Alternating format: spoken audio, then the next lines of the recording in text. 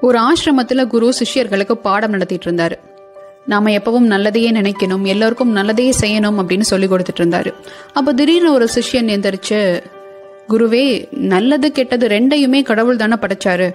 நாம நல்லதை செய்யாம கெட்டதை செஞ்சா என்ன? அப்படின்னு கேட்டாராம். அப்போ குரு அதுக்கு எந்த பதிலும் சொல்லாம பேசாம போயிட்டாரு.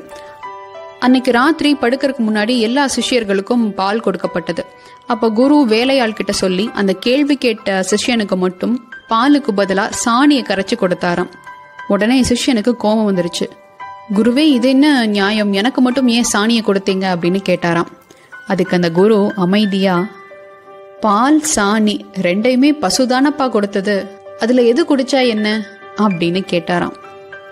எது சரி எது தப்புன்னு பிரிச்சு பாக்குறதுக்கு தான் கடவுள் நமக்கு ஆறாவது அறிவை கொடுத்திருக்காரு. ஆதலால் சிந்தித்து செயல்படுங்கள்.